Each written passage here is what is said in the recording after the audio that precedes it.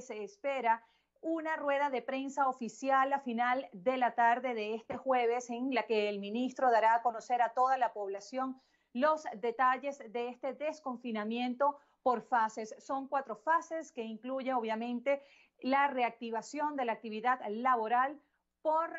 eh, por momentos, ¿no? Porque todavía no sabemos cuándo va a suceder, sí sabemos que será a partir del 2 de mayo que los, que los adultos podrán dar un paseo, podrán hacer ejercicios, a mediados también a finales del mes de mayo, algunos negocios eh, podrán abrir, algunos restaurantes abrirán sus terrazas, pero a una capacidad de un tercio. Todavía hay muchísima confusión desde España, les confieso, porque, por ejemplo, hasta en el modelo educativo no tenemos información. Sí se dice que las actividades escolares van a estar suspendidas hasta el mes de septiembre, pero obviamente esto va a generar también un gran colapso social en vista que si hay muchos adultos padres que se van a reactivar, que van a volver a sus puestos de trabajo, ¿con quién dejarán a los niños? Obviamente esto acompaña el peor escenario económico en este país, ya que este jueves se dio a conocer la cifra de la caída de la economía, de la caída del Producto Interno Bruto, que se sitúa en 5.2. Les confieso que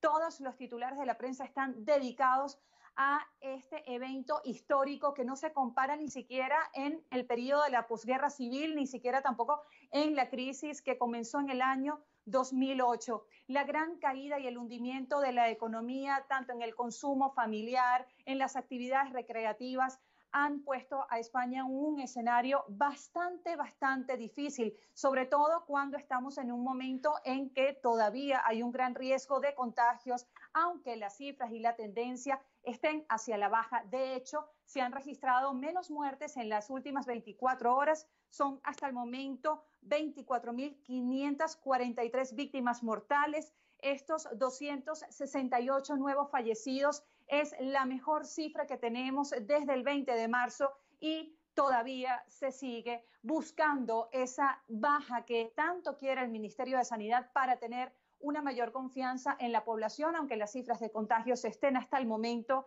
en 213.435.